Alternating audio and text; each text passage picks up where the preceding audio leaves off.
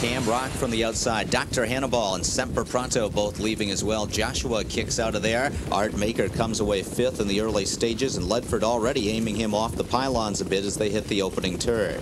DeVay to San Jose is sixth in behind him. The three Panty Opera out seventh. One for the books is eight. Street Sign got rough gated there, and Themistocles gains a spot. He's ninth on the inside. Semper Pronto pushing on to the lead, and he'll take it from Bo Cam Rock, the quarter 26 and 4. And here comes Dr. Hannibal as Miller rolls him up on the outside, and Art Maker is out and moving as well, following that cover second over as they head down the backstretch. And Dr. Hannibal is now taking the lead, trying to clear. Up on the outside, the heavy favorite Art Maker. He's up into second and challenging for the front. Semper Pronto, a bit of a shuffle into third. Bo Rock fourth as Art Maker takes the top, and Joshua is going to try first over. Moisea flushes him to the outside. Also on the move with that cover is to San Jose, the half and 54 and 3. No breather here for Art Maker as Joshua is taking it to him on the outside, and Joshua pokes ahead in front. Art Maker with the inside advantage fights back though, and these two are slugging it out with three eighths to go. It's Art Maker on the inside, now a neck clear. Joshua starting to back off a bit on the outside second. Dr. Hannibal three lengths back third. Joshua slips into the two hole, three quarters in 122 and one,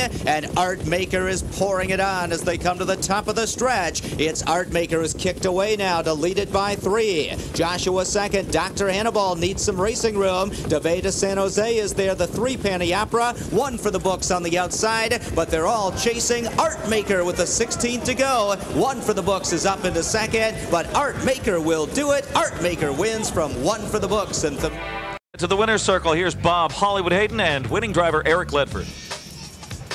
He, you know, he's actually a little better off cover, and uh, I've been putting him on the point here at the half, but I've been uh, able to steal the third quarter tonight. It, uh, it didn't work out, but the horse just overcame it. In the stretch here, any anxious moments? He opened up. Yeah, he opened up, and uh, once I got away from him a bit, uh, he kept right on all the way through the wire. Is this the kind of horse that can make the next step up to Clinton Clash, you think? Uh, there's definitely a possibility. The horse is getting better every week, I think. And, uh, you know, that's something to say for a horse that's been going at it all.